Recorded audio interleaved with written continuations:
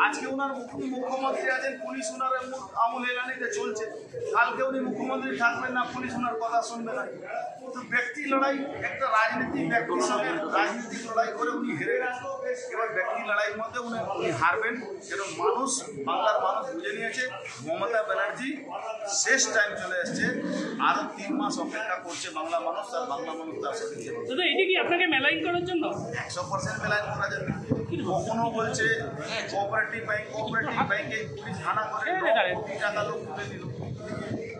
লোক এখানে ব্যাংকটাকে তুলে দেওয়ার ধান্দা আছে তারপরে মাননীয় প্রধানমন্ত্রী সমস্ত ব্যাংক কোঅপারেটিভ ব্যাংকে উনি রিজার্ভ ব্যাংকে আওতা করে দিলেন।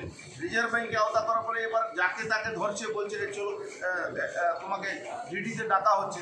ডিডি থেকে সাদা কাগজে সই করে পরের দিন একটা কেস কেস করার পরে সেই লোক আবার কে কোর্টে বলছে যে আমি তো কোনো কেস করিনি আমাকে জোর করে পুলিশ ধমকি দিচ্ছে বলে তোমাকে গাঁজা কেস দিয়ে দেবো হিরোইন কেস দিয়ে দেবো।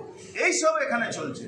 আমি তো বলছি অত রোজ রোজ আসার দরকার কি আছে আসুক না আমি এই এই এই বিল্ডিংটাই দিয়ে দিচ্ছি পুলিশ কমিশনারেট এখানে মমতা বাজি বসিয়ে দিই এখানে রোজই তল্লাশি করুক রোজই আসুক এখানেই বসুক আমরা অন্য জায়গায় বসে যাব কোনো অসুবিধা। কিছুদিন আগে বলেছিল আপনাকে খুন করবার জন্য পুলিশ নামক এক গুন্ডাকে। এখানে যে জয়েন্ট কমিশনার আছে যে লোকটা, হ্যাঁ সে পুরো ছক করে যে মমতা তাকে তাই জন্যে ওয়েস্ট বেঙ্গল গভর্নমেন্টে মেডেলও দিয়েছে সে উত্তরপ্রদেশের কানেকশন আছে, সেখান থেকে আমরা আগেও বলেছিলাম এই মুক্তার আনসারি কানেকশানকে নিয়ে এসে এখানে আমার উপরে হামলা করাবার চক্রান্ত চলছে। একদিন করানোর চেষ্টা হয়েছিল সিভিল ড্রেসে পুলিশও এসেছিল, ওরাও এসেছিল, আমরা ওদেরকে চিনতে পারি, তখন ওরা পালিয়ে যায়